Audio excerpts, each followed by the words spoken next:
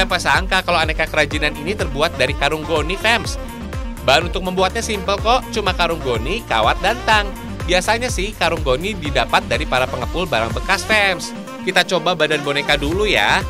Kerangka boneka dibuat dari karung goni yang dilapisi dengan kertas. Jangan lupa beri lem perekat agar nggak mudah lepas. Kemudian tempelkan dua buah kawat yang telah dipotong pinggirnya. Kemudian lilit serat karung goni pada rangka badan. Pastikan menutupi semua bagian kawat, fams. Kalau sudah rapi, buat rangka tangan dan kaki boneka dari sisa kawat yang sudah dibengkokkan. Lilit lagi sampai rapi.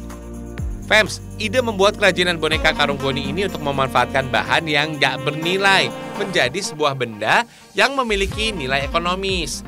Tinggal lengkapi kepala dan hidung bonekanya dengan biji pala dan ketumbar. Pasang kepala dan lilit bagian lehernya dengan serat karung goni. Beri lem perekat agar gulungan serat goni tidak lepas. Lalu pasang baju dan celananya. Lilit dengan serat karung goni sampai rapi. Boneka-boneka yang dibuat juga beraneka macam, fans. Kebetulan nih, ada miniatur skuter, tinggal nambah boneka dan orangnya aja deh. Kalau sudah terpasang, lanjut buat lengan bajunya. Masukkan potongan goni ke dalam tangan boneka. Beri lem kertas pada bagian punggung untuk menempelkan baju. Agar lebih menarik, kita beri cat minyak putih untuk mewarnai bajunya. Jadi deh. Baju boneka juga bisa dibuat dari kain perca batik fams. Pokoknya memanfaatkan sisa-sisa bahan deh.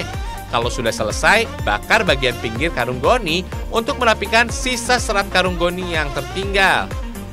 Lalu tambahkan aksesoris topinya. Keren! Terakhir, letakkan boneka di atas miniatur, tekuk bagian pinggang agar posisi boneka duduk. Wah, boneka karung goninya udah jadi deh.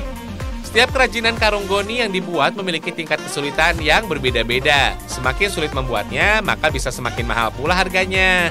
Satu boneka dengan detail sederhana bisa dibuat dalam waktu sehari, bahkan ada juga yang memakan waktu lebih dari seminggu.